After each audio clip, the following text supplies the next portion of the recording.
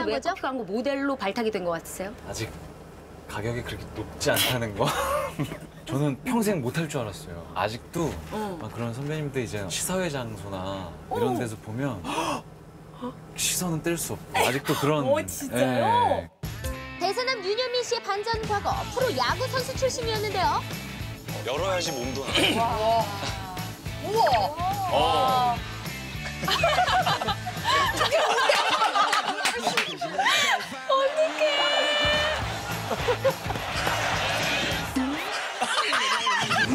김현수 선수도 후배라면서요? 어, 예, 선수 때는 저 밑에 후배였어요. 예, 두 친구 다 미국에 가 있어서 그죠. 이렇게 볼 수가 없어요. 예. 근데 현진이 같은 경우는 올해 초에 한국에 와 있을 때 음. 한번 고기 먹고 현수 같은 친구는 저 중고등학교 또 직속 후배여서 아. 가끔 응원 문자만 배우가 되어야 되겠다.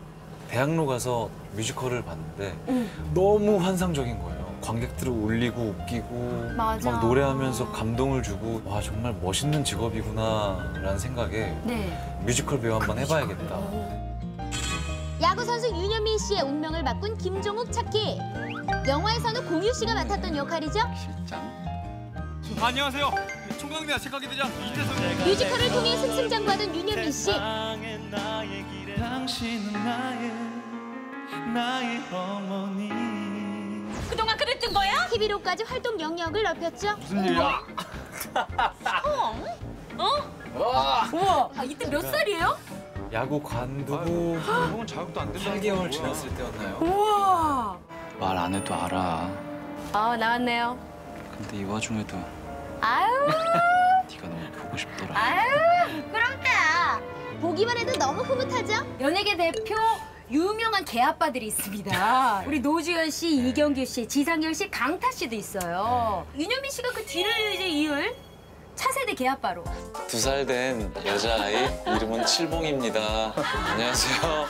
아, 지 저랬는데. 많이 컸나요? 지금 엄청 커졌어요. 칠봉이 동생 꼬봉이에요. 말썽 사람 똥. 아 꼬봉. 아기 때 저거 하나 보면 그냥 엄마만 그죠. 저렇게 작았는데 맞아, 맞아. 아유, 아, 두 마리 키우려면 힘드시겠다. 아 근데 힘든데 예. 쟤네들이 저한테 주는 게 더 많아요. 그쵸. 근데 이 신기한 게 강아지들이 예. 그런 걸 아는 거예요. 지쳐서 들어오면 진짜 애교가 심해요. 막 옆에 와서 자는데 옆에서 계속 핥고 나를 나 강아지 때문에 이렇게까지 해봤다. 사료도 먹어봤죠. 아, 진짜요? 네,